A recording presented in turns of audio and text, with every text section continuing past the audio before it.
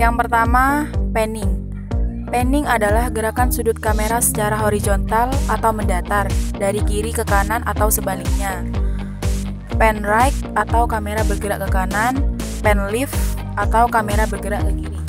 Yang kedua, tiling.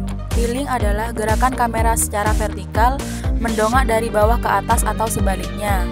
Tilt up mendongak ke atas, tilt down menunduk ke bawah. Yang ketiga, dolly atau track.